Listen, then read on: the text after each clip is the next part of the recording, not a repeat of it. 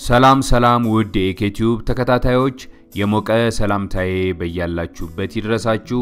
ዛሬ በዚህ የአኒሜሽን ቪዲዮ በሕይወታችን እጅግ በሚያስጨንቅ ሁኔታ ውስጥ ስንገባ ልናስታውሳቸው የሚገቡ አራት ነጥቦችን ይዤላችሁ ቀርቤያለሁ ከትምህርቶቹ ጋር አብራችሁኝ ቆዩ። አንደኛ pain is temporary የተሰኘውን ነጥብ እናስታውስ። ስቃይ ጊዜያዊ የሆነ ነገር ነው። ሰዎች በየትኛውም ስቃይ ውስጥ ሲገቡ ስቃይ ጊዜያዊና የሚያልፍ ነገር እንደሆነ ይዘነጉታል። ስቃይ ብቻ ሳይሆን እዚህ ምድር ውስጥ ያለ የትኛውም ነገር ያልፋል። ምናልባት በዚህ ሰዓት ለብዙ ነገር ተስፋ ካደረጋችሁ ስራ ተባራችሁ ሊሆን ይችላል። ከፍቅረኛችሁ ጋር ተለያይታችሁም ሊሆን ይችላል። ምናልባት ደግሞ የምትወዱት ሰው ሞቶ ሊሆን ይችላል። ብቻ በትልቅ ወይም በትንሽ ምክንያት ስቃይ ሊፈጥሩ የሚችሉ ነገሮች ውስጥ ገብታችሁ ሊሆን ይችላል።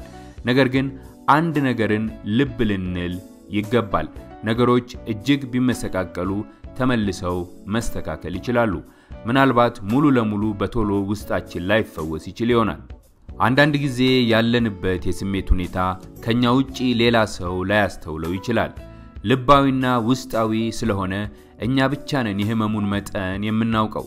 ሆኖም ግን ህመምና ስቃይ ብቻ ሳይሆን ሁሉም ነገር ጊዜያዊና የሚያልፍ መሆኑን ማስተዋል ብልህነት ነው።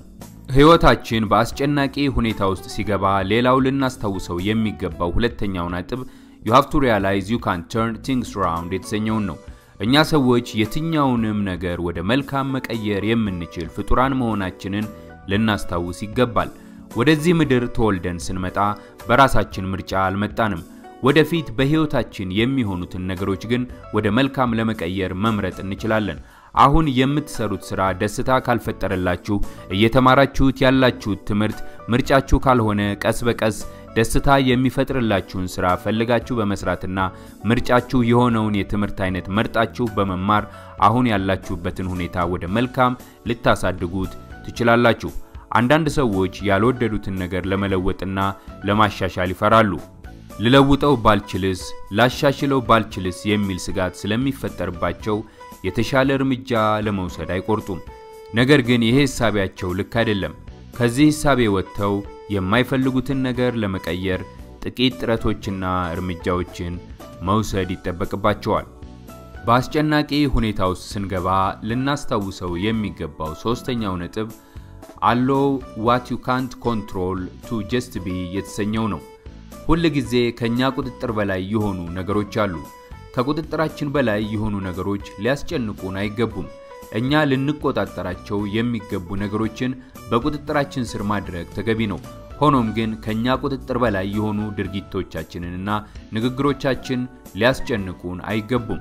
ልንቆጣጠራቸው ያልቻልናቸው ነገሮች ቀላልና ሌላ ጊዜ ልንቆጣጠራቸው የምንችላቸው መስሎ ከተሰማን ለሁለተኛ ጊዜ ደግመው እንዳይከሰቱ ልናስተውልና ከጥፋታችን ልንማር ይገባል። ሕይወታችን በአስጨናቂ ሁኔታ ውስጥ ሲገባ ልናስታውሰው የሚገባው አራተኛው ነጥብ ዩ ኖት አሎን የተሰኘውን ነው። አንዳንድ ጊዜ ችግር ውስጥ ስንገባ በችግር ውስጥ እያለፍን ያለነው እኛ ብቻ የሆነን እስኪመስለን ድረስ ብቸኝነት ይሰማናል። ነገር ግን ዙሪያችሁን ብትመለከቱ በጣም በርካታ ሰዎች በችግር ውስጥ በተመሳሳይ ሰዓት ያልፋሉ። ሰዎች ልክ እንደ ሮቦቶች አይደሉም። የተለያዩ ሐሳቦች በአእምሯቸው ይመጣሉ። እነዚህ ሐሳቦች ለተለያዩ ችግሮች ሲያጋልጧቸው ይስተዋላል። ለችግር አልጋለጥም፣ ተጠንቅቄ እኖራለሁ ብሎ የሚያስበው ሰው ሳይቀር በገዛ ሐሳቦቹ ተጠልፎ ለችግር ሰለባ ሲሆን ይስተዋላል። ስለዚህ ችግር ሁሉም ሰው የሚጋራው ነገር እንደሆነ ልብ ልንል ይገባናል። ይህንን ቪዲዮ ስለተከታተላችሁ እጅግ አድርጌ አመሰግናችኋለሁ። እንግዳ የሆናችሁ subscribe በማድረግ የእኛ ቤተሰብ ሁኑ። ቪዲዮውን ከወደዳችሁት ከስር like በማድረግ share በማድረግ ለሌሎች እንድታጋሩ እጠይቃለሁ። እንግዲህ አስቸጋሪና አስጨናቂ ሁኔታ ውስጥ ስትገቡ ምን እንደምታደርጉ እስቲ ልምዳችሁን comment ኡ ላይ አጋሩን፣ መጥቼ አነበዋለሁ። ከዛ በተረፈ በያላችሁበት ሰላም ሁኑ። በሌላ ቪዲዮ እስከማገኛችሁ ቻው።